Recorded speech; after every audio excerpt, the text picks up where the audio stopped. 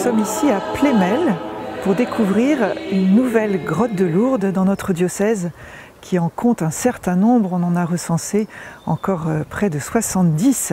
Tous les ans on en découvre des nouvelles.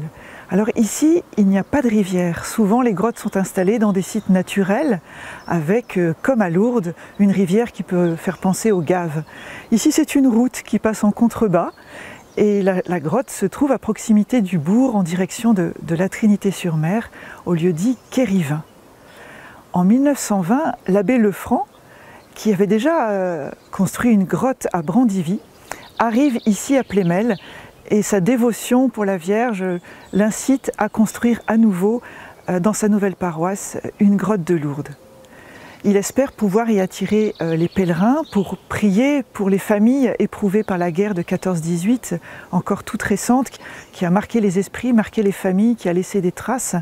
Il espère aussi euh, pouvoir offrir à l'école catholique un lieu de pèlerinage de proximité donc ici à Quérivin, il n'y a pas de, rivière, il y a bien une fontaine un petit peu plus bas, mais pas de rivière qui puisse évoquer explicitement le Gave. Alors on a installé devant la grotte une ancienne cuve baptismale. Cette cuve évoque aussi pour nous l'eau que la Vierge a fait jaillir, enfin que Bernadette a découverte sur les indications de, la Vierge, cette source qui abreuve les pèlerins quand ils vont à Lourdes quitte un élément important de leur démarche pénitentielle et qui en même temps nous rappelle évidemment le baptême. Un autre petit détail naturel qui peut faire penser à la grotte de Lourdes ici, c'est l'abondance des rosiers.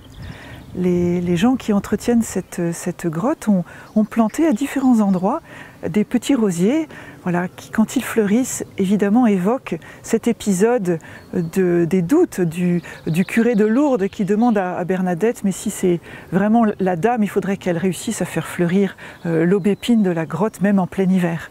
L'abbé Lefranc, dans ses, dans ses mémoires et puis dans les mémoires des, curés qui lui ont succédé, euh, se plaise à raconter l'abondance des, des pèlerins qui viennent ici au pardon qui a lieu au mois d'octobre.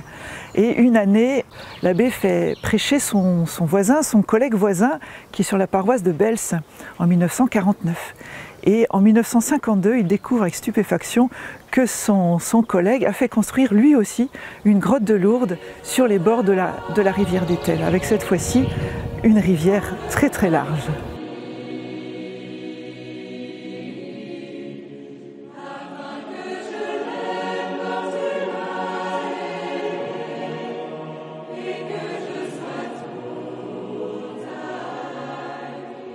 Comme souvent dans les grottes de Lourdes et pour euh, ressembler le plus possible au site de Massabielle, l'abbé Lefranc a eu à cœur d'installer aussi des croix à proximité de la grotte. Il n'a pas pu les mettre au-dessus de la grotte, comme c'est le cas à Lourdes même, mais il a, transporté, il a fait transporter sur le site plusieurs croix anciennes, euh, mégalithiques, euh, qu'il a récupérées et qu'il a installées ici. Euh, quand on arrive sur le site, on peut faire une sorte de chemin de croix puisqu'on monte un petit chemin qui passe d'abord par la croix avant d'aller à la grotte. Évidemment très symbolique d'un chemin de, pénitence et de foi.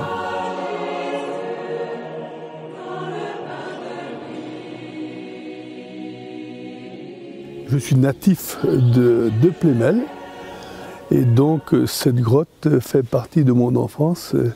C'est au sortir de la guerre 14-18 que le père Lefranc, recteur de Plémel, qui avait une belle dévotion mariale aussi, qui a décidé donc de euh, mettre en évidence cet espace qui n'était qu'un terrain privé auparavant. Il a donc décidé, et puis avec tous les paroissiens de l'époque, les agriculteurs surtout, ils ont commencé à charrier des dizaines, des centaines, des milliers de cailloux de taille plus ou moins importante, mais certaines quand même, certaines tailles sont avoisinent quand même la, tonne, et plusieurs tonnes. Au dire des anciens, euh, il n'y avait pas de route d'accès à l'époque. Donc tout cela, c'était par chevaux, tombereaux, et uniquement à la force des hommes et des, animaux.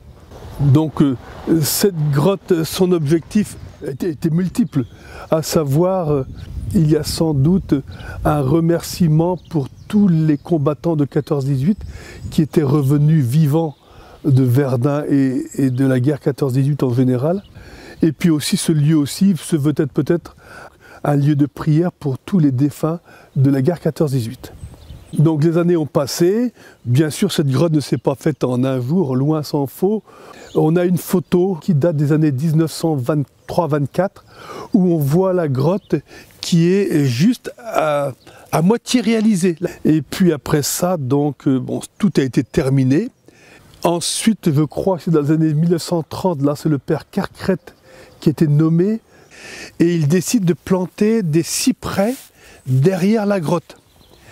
Il en reste, alors il reste uniquement les souches actuellement, parce que les cyprès ont été abattus cet hiver ou l'hiver dernier par la mairie, au prétexte que c'était dangereux pour les, maisons avoisinantes sur le, cahier du père Carcrête, le cahier où il répertoriait tous les mois euh, la vie de la paroisse, on a pas mal d'anecdotes, entre autres. Il nous raconte, je crois qu'en 1931-32, il y avait un tronc de cierge un peu plus bas qui avait été vandalisé. Et donc, euh, ils avaient retrouvé les, malfaiteurs, mais euh, les malfaiteurs, pour se venger, avaient renversé la petite statue de Bernadette qui est en bas. Et donc, le père Kerkret dit Nous l'avons scellée au ciment, elle ne bougera plus. Le 23 août 1937, il écrit Une procession a été demandée pour obtenir de la pluie. Le père Kerkret avait instauré tous les vendredis un chapelet pour les soldats qui étaient donc de Plémel, partis à la guerre 39-45. Et donc les gens se retrouvaient ici et il y avait ce qu'on appelle une procession pour la paix en 1939. Il y a un pardon tous les ans. C'est le premier dimanche du mois d'octobre. Et donc nous partons de l'église en procession et nous venons ici par la route jusqu'à la grotte et on célèbre la messe de 11h à la, à la, grotte. Nous sommes aidés par le comité des fêtes qui vient monter un chapiteau afin que les gens soient et assis et à l'abri. Il y a une dizaine d'années, le terrain qui appartenait à la famille Bels de Plémel a été cédé à notre mairie qui aujourd'hui en a la charge. Mais ce qui nous préoccupe beaucoup actuellement, c'est l'état de la grotte. Plus de 100 ans maintenant, il y a quand même quelques faiblesses, techniquement parlant, en termes de, solidité des, murs porteurs. Donc la mairie, a priori, euh, doit intervenir. À Plémel, pour beaucoup, nous avons une dévotion particulière à Marie. Quand on a la chance d'habiter à quelques dizaines de mètres de la grotte, forcément, euh, depuis 40 ans que j'habite ici, tous les jours, les matins, tous les matins, tous les soirs, on passe à côté de la grotte. Et c'est vrai que c'est devenu dans le courant régulier, on s'adresse à Marie, notre maman du ciel, pour euh, demander ceci, demander cela, quand nos enfants ont des problèmes, quand les voisins euh, sont dans des difficultés, quand une personne s'apprête à, quitter ce bas monde, eh bien, juste en passant devant en vélo, on fait un signe de croix et puis on prie pour ces gens en question. Donc, on va dire, il n'y a pas un jour qui passe sans qu'on ait une dévotion particulière pour Marie. Et en retour, bah, nous recevons tout notre bien-être quotidien. Vous voyez, on vit dans un pays magnifique. Je suis né dans le quartier à 500 mètres, j'y habite depuis, depuis mon enfance.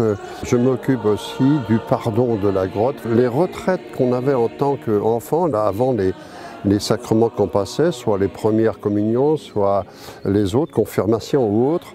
Les retraites se passaient donc euh, au bourg de Plémel et à chaque fois qu'on avait une détente, les temps de récréation, si on veut, se passaient ici à la grotte. Lors des, des pardons, il y avait foule, tout était sonorisé, il y avait un groupe de chanteurs locaux.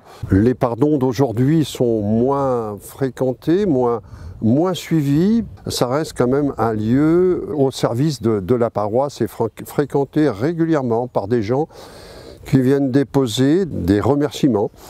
Euh, non plus des plaques, mais des remerciements. Ça peut être euh, certaines choses trouvées après les décès des parents qui viennent déposer et en même temps des cierges qui sont régulièrement allumés. Notre maman avait une grande dévotion pour la Vierge Marie. On l'a perdu euh, de bonheur, mais cette grande dévotion-là, elle nous l'a quand même euh, transmise. Ça nous donne un objectif de vie et d'ouverture euh, aux autres.